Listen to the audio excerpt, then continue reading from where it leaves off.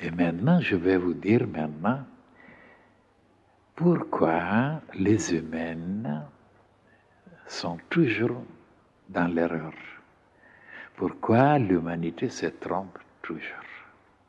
Pourquoi les humains n'arrivent pas à trouver le vrai chemin. Je vous dirai pourquoi. Pour moi, c'est très clair. Très. Pourquoi? Parce que tout le monde compte sur ses sentiments, ses sensations, ses désirs, ses plaisirs. Du moment que lui, il sent, il désire et ça lui plaît, ah, tout le reste est rejeté, même si ça vient des plus grands maîtres, même de Dieu lui-même. Ce qui compte, c'est comment lui, il se sent, ce qu'il souhaite, ce qu'il désire. Et là, justement, le monde entier capitule. Tous ne pensent qu'à satisfaire, servir leur personnalité, leur désir, leur plaisir, leur convoitise. Mais alors le monde entier. Et dans les idées, ils l'acceptent, ils lisent, ils comprennent, ils sont d'accord en apparence parce que les conventions, les traditions, euh, il faut que ça soit comme ça. D'accord. Mais qu'est-ce qu'on suit?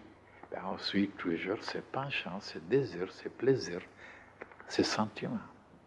Voilà la réalité. Et chez les initiés, comment ça se passe? Ou chez les disciples?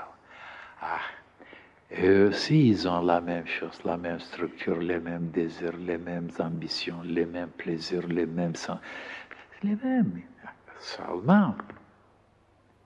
Et ils sont un peu plus décidés, plus compréhensifs, plus avancés de réaliser voilà, ce qui est plus supérieur, plus céleste, plus intelligent, c'est plus subtil.